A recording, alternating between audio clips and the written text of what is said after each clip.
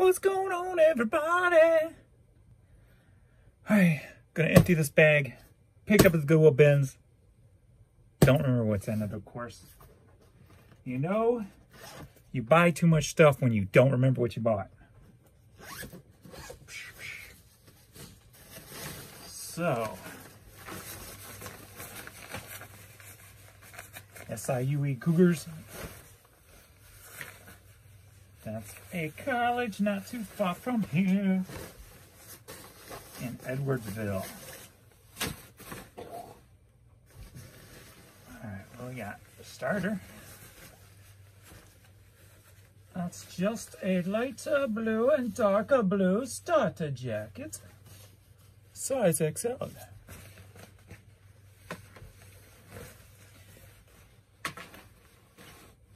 What I find very funny is a lot of this is a lot of this bin stuff. When you pick it up, they come from the standalone Goodwill stores, right? And they'll have tags on them. Like that starter jacket had $5 tag on it. But that's reasonable, I guess, considering. But you'll see like some shirts, they'll sit there and put like 10 bucks on. And they keep raising their price of shirts. When their shirts were two bucks, I was buying constantly shirts from their standalone stores. Uh, they're up like four bucks now for a t-shirt. But that's why you get so much good stuff over at the bins because they way overprice everything at the standalones. I mean, they get people who just don't know what the hell they're doing at these standalones and everything's way overpriced. So what I don't understand is why they would jeopardize sales within the stores when they're just going to send this shit to the bins and they're going to get, you know, sell it for 50 cents. So it makes no sense to me why they don't lower their prices in the standalone stores and why they keep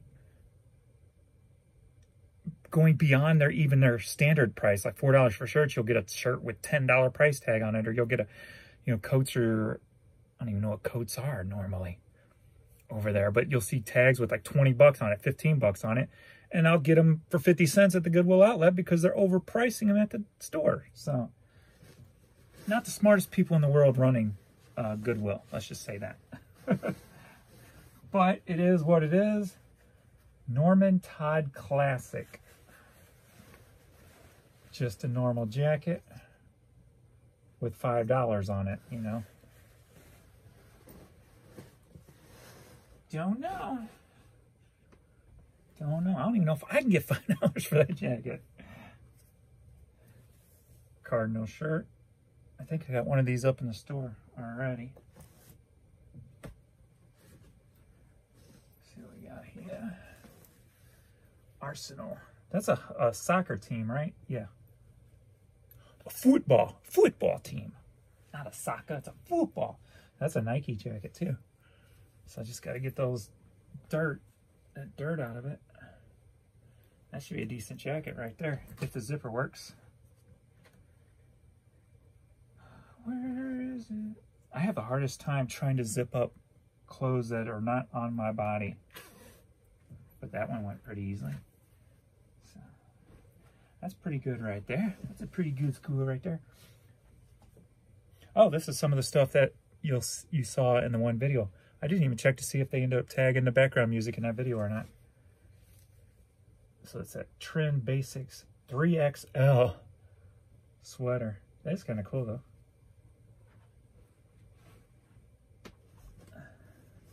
Hopefully this has that t-shirt in it, the train shirt. So another Cardinals. That's where I get all the Cardinals crap for next to nothing. Yeah, this was cool. You saw that one on the video. Kenmore Air. I like that. I like it a lot. What we got? Oh, you saw me throw that one over my shoulder too. Bayou, Bayou Sports. Just had the classic look. That's why I grabbed it. Ah, you saw me throw that one over too. St. Patrick's Day. That's funny as hell. I think you saw that one too. That looked like a vintage one. That's why I grabbed it. pre-shrunk large. That's that's like a youth large though.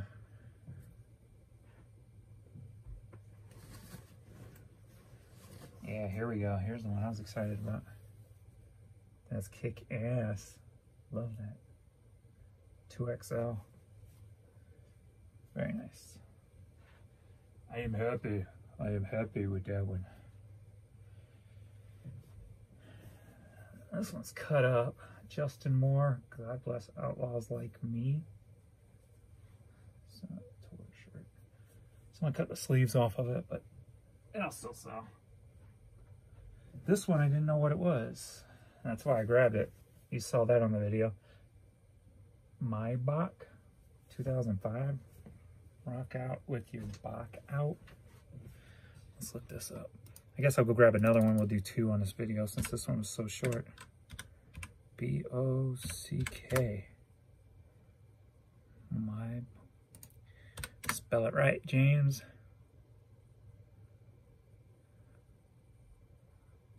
I don't know. It's a beer, maybe? No. I don't know. Take out that 205 again, see what. One thing that's coming up is like a, looks like a beer. Maybe it is a beer.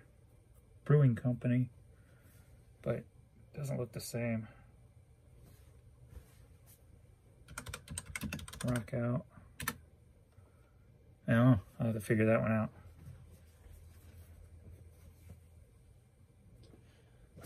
Shoved all that into a nice pink Reebok tote. Let me go grab another Fang.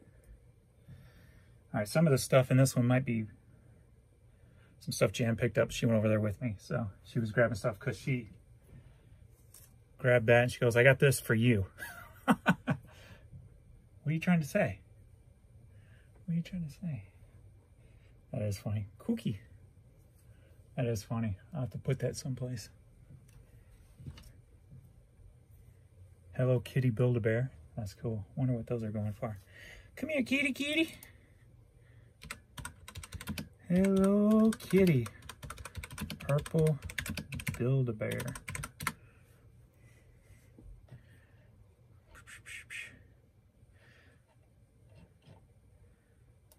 sold. There's a little one. This is a bigger one. There's one similar, 550. Yeah, but that one went for 10. I can live with 10. I can live with 10 for a 50 cent investment. If they had it like this one's got a bow on her head and it sold for 26 or a flower a tie-dye flower. Ah there's a piece of velcro there so you could stick a accessory on that. Hell maybe i need to maybe i can just look see if i can find that accessory on ebay for a couple bucks put it on her and get 15 more dollars out of her that one yeah, best offer after 30 so 25 maybe. Not bad. May just have to do that. Uh, I guess Jan grabbed this because they had tags. I tell her when she sees stuffed animals, especially with tags, grab them. Probably nothing major here though. But that's fine. When I tell her that I don't want to discourage her and say, this was a bad pickup, then she'll start questioning what to pick up. And then when you do that, you might pass up, so she might pass up something good. So I don't want to say, and the one you picked up was bad. So, because I don't want her to question herself, just still pick them up, new with tags. Because nine times out of 10, they're going to be decent. So, sure have.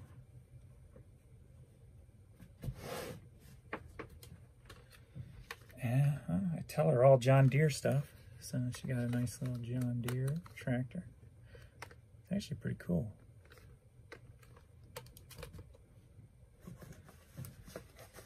Nemo Grain Ethanol, Macon, Missouri. Snapback. Skills Gear Passion Sports. Whatever that is. New Era Cardinals. throw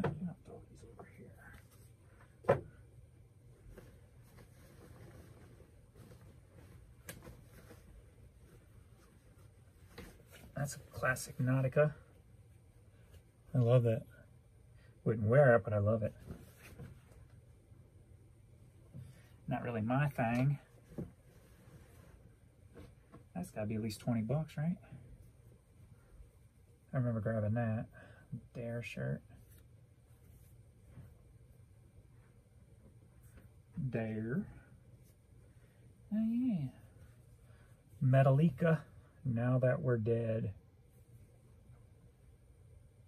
So from 2017 World Tour. Pretty cool. Pretty cool. Metallica. Yeah, I know Metallica. I'm making a joke. Metallica. The Land Institute. It's older, whatever it stands for.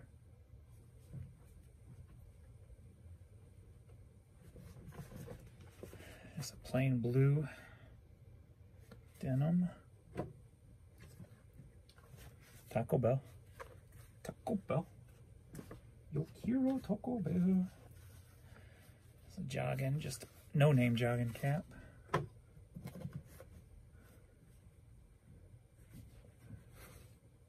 I don't know who that team is. American League. I don't watch baseball. Baseball's boring to me. It's boring to me. If it ain't blues hockey, I'm not watching it. I don't have time to get into sports, except my team. It's the only team I will stop and watch. Is the Blues, Royal Caribbean. You always know that cruise ship stuff does well. Sold that cruise ship, small cruise ship for 50 bucks. That was cool. Cool beans, bro. 562, whatever that's to stand for. I don't know. Golf hat. I think I got enough hats.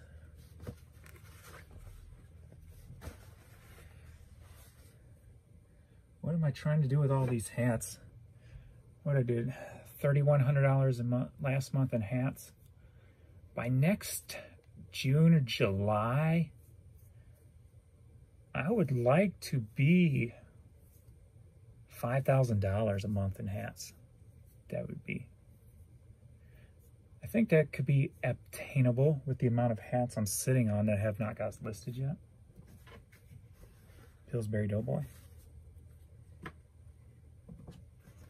Can you just imagine some Cardinal signatures? Number 12, number 75. I'll have to look it up, see who they are. If they are anybody. Nibco.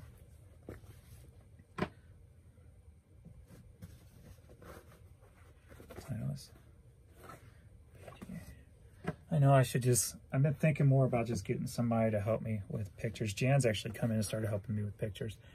I gave her the task. I showed her how to do hats. And then lately she's been doing women's clothes. So I put women's clothes on a lower shelf for her over here as I showed in another video.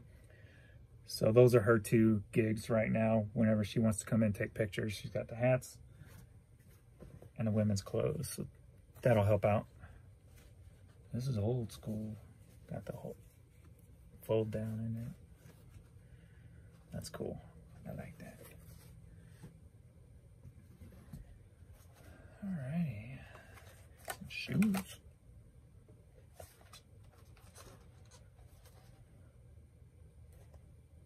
Those aren't bad shape. Wave lightning. Not bad at Nah, here when I can't find the size. that sucks ass. Cause then I got a guesstimate with the ruler. Hurley. Hurry, hurry. Titleist visor. World's greatest grandpa. Vintage style. Camo. Camo Cardinals. Whoops. Oh, yeah, that's right. Miller's paint and wallpaper. Bud Light. I should stop buying Bud Light hats. They're not selling. what the hell was that? Uh, I wonder if something fell out there. Uh, Browning. You go over there. That's interesting. That's a kid's, obviously. That's funny. Oh, this one's cool. I remember finding this. Or didn't find it, but I saw it because that was when the friend, my friend called me over to give me hats. That's a cool one.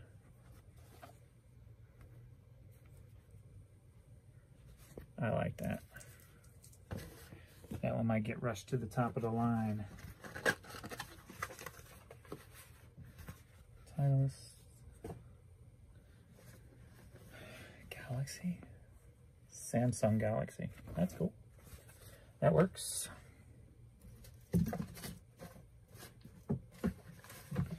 Cardinals. Dobbs. Dobbs Auto and Tire. The rip-off specialist. I tried to go to that place twice in the past in my life. And uh, Dobbs Tire and Auto here, it's a local. They got tons of places around. But the first, I, when I had my SUV, my Yukon XL, I took it in and the third tail light was out. And I'm like, I'll just take it up there and let them do it, deal with it because it was during inspection time or whatever. They called me on the phone and they're like, to give me the price. And they go, yeah, that'll be about $250. It was 250 something. I'm like, what? I was, I, then I, as I was on the phone with them, I Googled it all. I'm like, it's two screws. Or I, he goes, or I asked him, why the, Why is it $250? He goes, well, it's a lot of little light bulbs. Like, okay, so I Googled it and it was two screws and a unit I could buy for 50 bucks myself for 50 bucks, not even at what they're going to probably get it cheaper. So I, I'm like, you do realize that the unit, I can buy it right now for 50 bucks online and it takes two screws to unhook it. Why are you charging me 50 bucks for the item and $200 in labor charges? And uh, he said, oh, I'll get back to you. And he called me back and it was $75. I'm like, shh. And then one time I had, uh, I got a nail in the vet tire. And I, I, was friends with a guy who ran a tire place where I bought all my custom tires. So I know, you know, if the toe's on the outside, you're going to want to replace the tire. But it was like probably about an inch and a half to two inches in from the wall. And they're like, oh, we got to get you a new tire. I'm like, no, you don't. Yeah, it's too close to the wall. And I'm like, no, no, you don't. So I drove it to my friend's place and he plugged it for eight bucks. So that's why I don't do Dobbs and I don't push Dobbs. They're just rip-off artists. That's how they do their business. But uh, oh, Vera Bradley. That's cool. Cool beans. Anyway, if you're in St. Louis and watching this, there's a little story for you. Always, uh, always do your homework if you're dealing with Dobbs because they will take advantage of you. Because that's, that's, I guess that's probably written in their letter or their employment uh, booklets for their employees. Rip off customers. All right, I'm back to work. So that was a pretty lame video. Sorry. Now I know why my videos only get like 88 views because they're freaking lame. All right, later guys. Uh, hopefully, uh, I'll have an eBay, hopefully, eBay Way episode tomorrow, hopefully. So, so I think I've already made back my money, so I'll probably go out shopping for that. So, and then tonight I might do another episode of uh, searching eBay, whatever I called it, to, uh, eBay late night, and maybe we'll go through some stuff and uh, see what's selling, see what they sell for. So, thanks everybody for watching. Later.